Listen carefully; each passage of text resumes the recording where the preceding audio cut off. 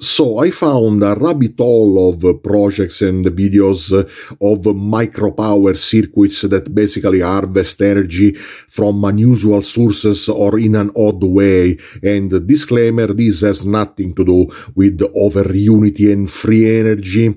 And in my opinion, if you want to dedicate time to those, a better project would be to instead watch paint dry. And considering that such micropower is basically undetectable to the human eye or ear, one of the best ways to manifest such micropower is to store it little by little on like an electrolytic capacitor and release it as a spike of power on an actuator or something.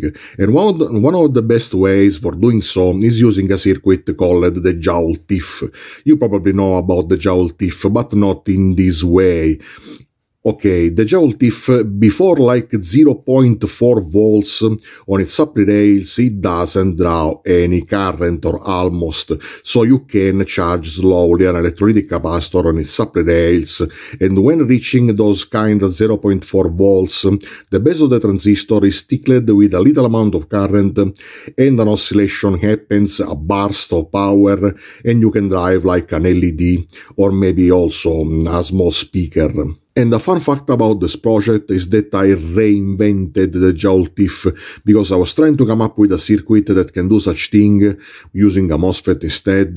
And at some point I realized, wait, that's just a Joule thief, but with the difference that the LED now blinks instead of staying on because there's an high hysteresis of supply voltage. And this is the first circuit that I made.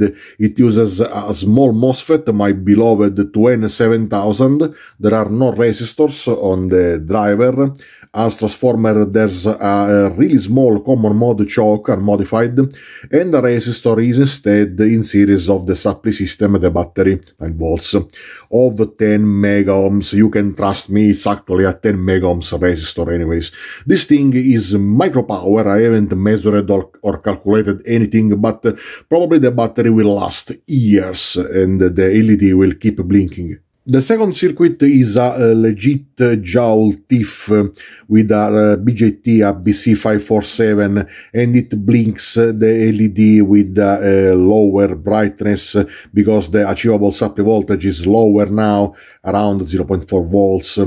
And now we have in series with the supply rail a dual wire resistor made with China ink on a strip of paper zigzag and it's measured 84 megaohms but to have at least 300 nanoamperes to let this thing uh, actually make the burst of oscillation i need like 26 volts from my adjustable power supply here.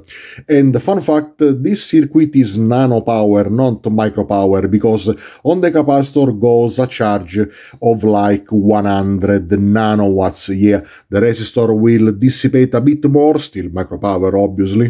Okay, now let's start uh, harvesting power from unusual sources. The LED is blinking, but I'm not using a battery or a power supply.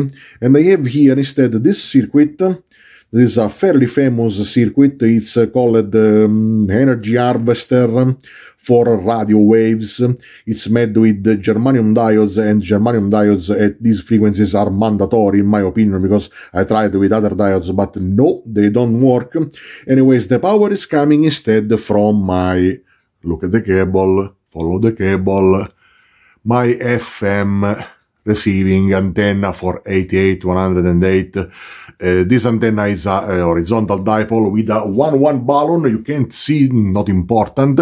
Anyways, and basically the LED is blinking with the power of FM broadcasts near uh, my place. Okay, actually the uh, FM transmitters in my place, in my town, are at like uh, 1.5 kilometers from my house. And I believe that this power is not all the FM broadcasts, but just one station. Anyways, uh, another thing, now we have a, a polyester plastic capacitor in parallel of the LED uh, I'll explain you why later.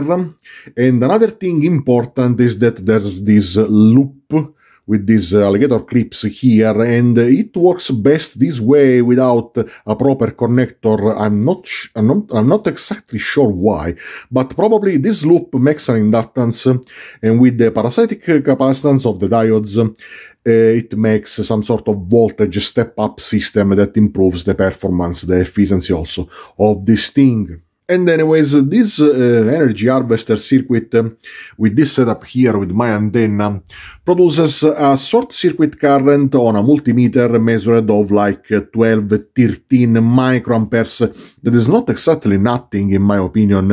And it's powering this circuit with like 6 microamperes.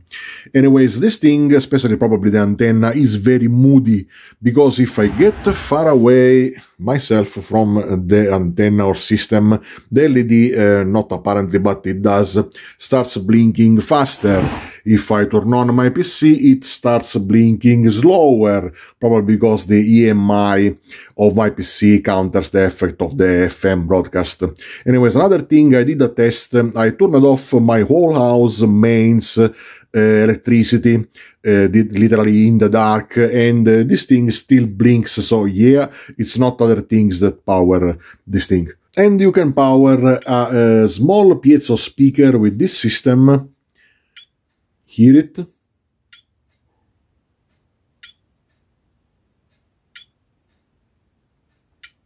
And there's no need for the uh, plastic capacitor in this case because the speaker is already a capacitor. Or both.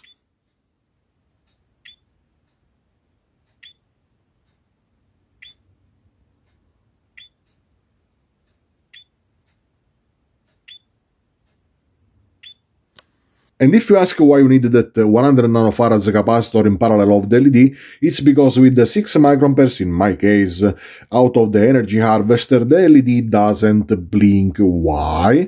Because apparently this current is high enough to charge the electrolytic capacitors uh, fast enough and not make the burst of oscillation on the circuit here quench itself and restart again after some time. But the circuit is actually working very faintly, not enough to let, to let the LED stay on, but it's oscillating. I have here my inductive test probe circuit that is better described in this video here. It's very sensitive. And if I bring it close to the common mode choke, you can see there is, wait a second, a bit of difficulties, there is an oscillation, very faint I'm not even sure that I can detect it, detect it with my scope. And this is the short circuit current. It actually lifts the needle a bit. And here is another solution for energy harvesting. Okay, I found this system for powering the same circuit I was already using on a short video of a guy that used these photodiodes here as uh, photovoltaic cells. These are the BPW34, very famous photodiodes, and they are enough in series, put in series, to power the circuit and make the LED blink.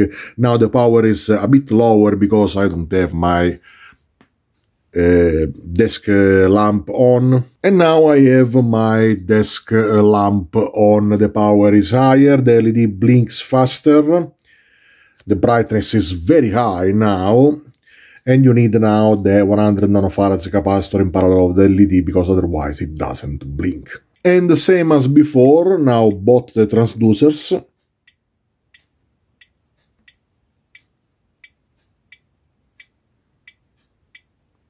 Okay, now let's overpower it. We have already our uh, desk lamp on, but more power.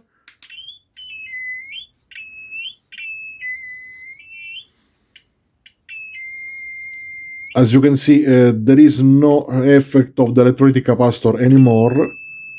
It's continuous wave.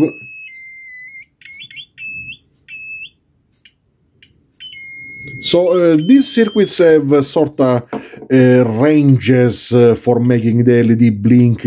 Not every supply current is ideal for every application.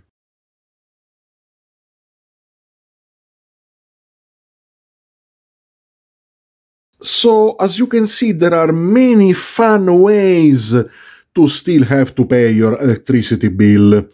Anyways, so thank you for watching my video and bye!